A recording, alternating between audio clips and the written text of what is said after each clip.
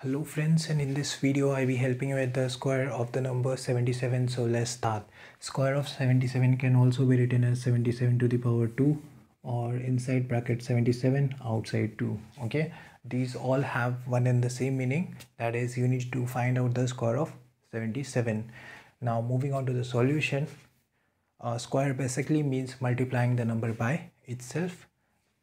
That is uh, the number over here is 77 to find the square of it we need to multiply it by itself and do the normal multiplication. Okay? Let's start with this 7 7 7 is 49 9 over here 14 carry. 7 7 is 49 plus 4 53 okay? Now with this 7 7 7 is 49 9 over here 4 carry. 7 7 is 47 plus 4 53 okay?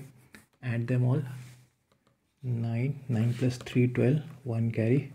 6 plus 3 9 5 okay the answer will be 5929 uh, we can say that square of 77 is 5929 so this was all. If you found the video helpful please do hit the like button. Do consider subscribing and thanks for watching